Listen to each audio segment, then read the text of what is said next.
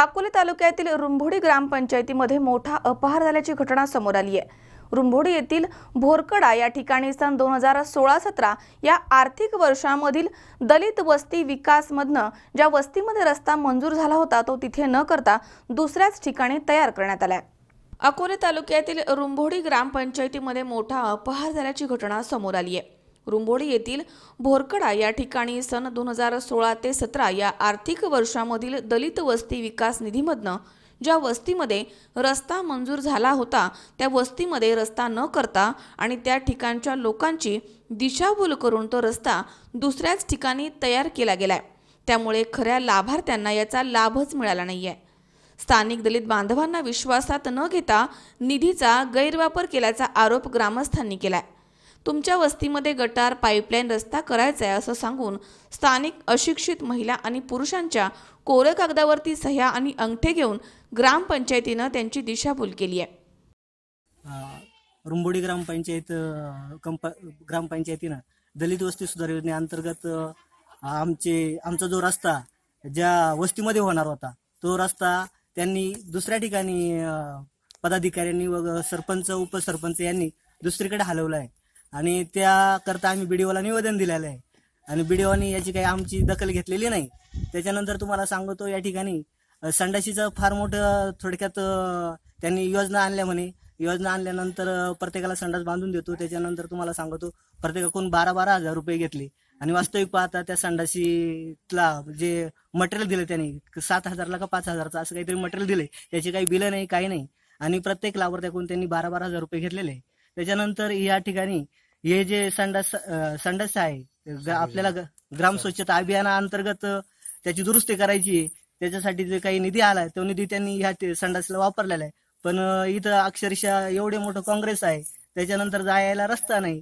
त्याच्यानंतर तुम्हाला सांगतो एक आज एक एका स्त्रीचं असं म्हणणं आहे का मी संडास करत असताना भलं मोठं किडू केलं होतं तिथे. तर अशी काही समस्या आहे.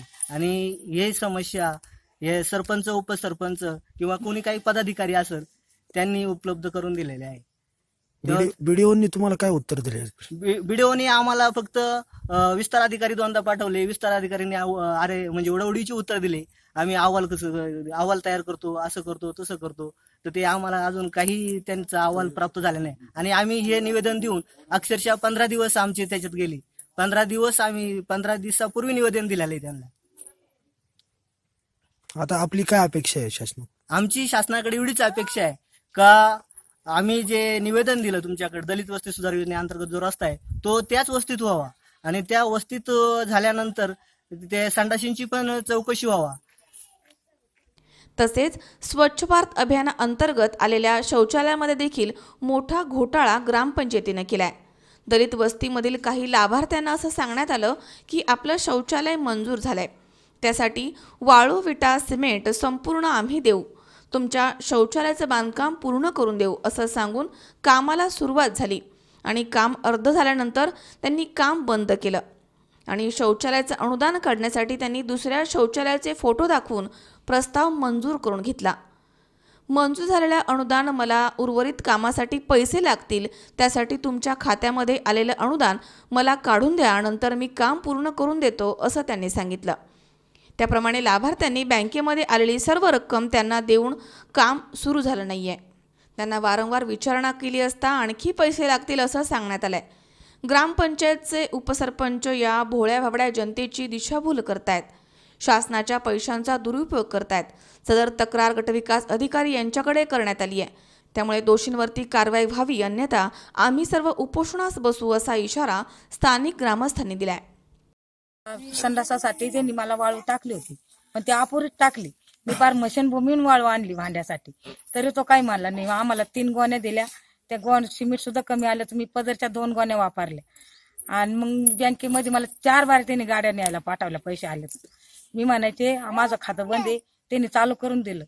तर तर त्याला म्हणलं दोनशे एक रुपये टाळाव दे आमच्या खात्यावर. आम्ही गरीब माणसं आहे. तुम्हाला म्हणतो तुझ्या बापाचा माल आहे का? नाही तू माझं मटेरियल आणून दे. आणि तू स्वतः संडास बांध. तो एवढी पैशावाली होती तर मग आमच्या गरीब आमच्या म्हणलीच का त्याला म्हणतो?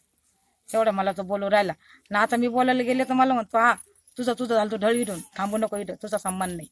या सर्वांवरती ग्रामपंचायतचे उपसरपंच बाळासाहेब मालुंजकर यांनी असं सांगितलंय की झालेला प्रकार हा राजकीय षडयंत्र आहे.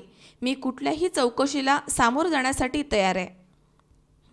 मी बाळासाहेब मालुंजकर उपसरपंच रुंबोळी माझ्यावर दलित वस्तीचा होणारा आरोप हा पूर्णपणे चुकीचा आहे. काही लोकांचं षडयंत्र आहे आणि जो दलित वस्तीचा जो रस्ता होता ज्या ठिकाणी घ्यायला हवा होता त्या ठिकाणी अतिक्रमण असल्यामुळे तो दलितांनाच लाभ मिळावा म्हणून शेजारच्या गल्लीत घेतलेला आहे. राहिला प्रश्न शौचालयाचा. माझ्या अडीच वर्षाच्या कार्यकाळामध्ये मी एकशे पासष्ट शौचालय पूर्णपणे बांधलेलं असून कुठल्याही माणसाची कुठल्याही प्रकारची तक्रार झालेली नाही. फक्त ह्या दोनच लोकांची तक्रार आहे. यांचं म्हणजे यांचं आणि यांच्या बरोबर असणारे जे सरपंच पदासाठी उमेदवार होते ते पराभूत झाल्यानंतर यांनी माझ्यावर बदनामीचं षडयंत्र रचलेलं आहे. कुठल्याही प्रकारच्या चौकशीला शासकीय चौकशीला मी सामोरं जायला तयार आहे. सचिन खरात सी चोवीस तास अकोले.